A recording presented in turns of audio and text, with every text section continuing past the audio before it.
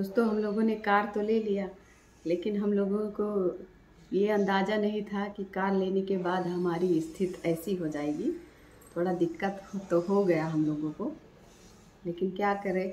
ज़िंदगी है, खुश रहने का सबको हक है, हम लोगों को भी है, हम भी हैं। हम लोग कार नहीं लेना चाहते थे, लेकिन हम लोगों ने इसलिए ये कदम उठाया, क्योंकि हमारे ससुर जी थे, उनकी एक उम्र हो चुकी है। आप लोग जानते हैं कि माँ बाप अगर साथ ना हो तो फिर कोई भी खुशी अधूरी रह जाती है। इसलिए हम लोगों ने सोचा कि क्यों ना हम लोग कार ले लें और माँ बाप को भी उसमें घुमा दें। उसके बाद तो अपनी ज़िंदगी में पता नहीं आगे है ज़िंदगी की नहीं है, लेकिन जो भी है, फिर भी हम लोगों को ये है कि हमारी अभी ज़िंदगी बाकी है। लेकिन उन लोगों के पास तो इसीलिए हम लोग सोचे कि चलो यही करते हैं। अब हम लोग कार तो ले लिए, लेकिन अभी समझ में नहीं आ रहा कि आगे क्या करें। अब वो गाँव भी ले जाना है। लेकिन गाँव ले जाने के लिए हम लोगों को कम से कम पचास साठ हज़ार रुपया लगेगा, तभी हम उसको गाँव ले जा सकते हैं। अब गाँव जा नहीं सकते।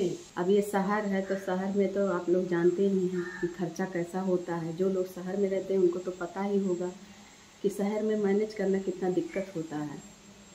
तो वही सब हम लोग भी सोचे हैं, लेकिन देखिए आगे क्या कर पाते हैं। और मन तो बहुत था कि इसी साल हम लोग गाँव जाएँगे। अपने माँ बाबू जी को सरप्राइज़ भी देंगे। कार भी माँ बाप को सरप्राइज़ दे देते तो एक अलग बात हो जाता। है मन में बहुत खुशी होता है कि हम लोग कुछ कर सकें। तो इसलिए हम लोगों ने ये कार लिया था। लेकिन अब थोड़ा लोन का दिक्कत आ गया है। अब वो देना है हम लोगों को। देंगे धीरे धीरे लेकिन आप लोगों के साथ भी जुड़े रहेंगे।